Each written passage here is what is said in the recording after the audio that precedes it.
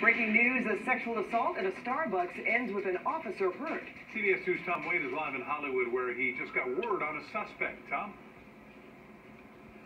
Yeah, Rick and Pat, right now I can tell you that this neighborhood is on lockdown, but police may have found the suspect and they are showing this person to the two victims who were in that Starbucks. Take a live look here on De Longpre and El Centro. You can see a lot of police presence here. They were going door to door looking for this guy. As you take a look at some ground video, the guy was hiding in some bushes over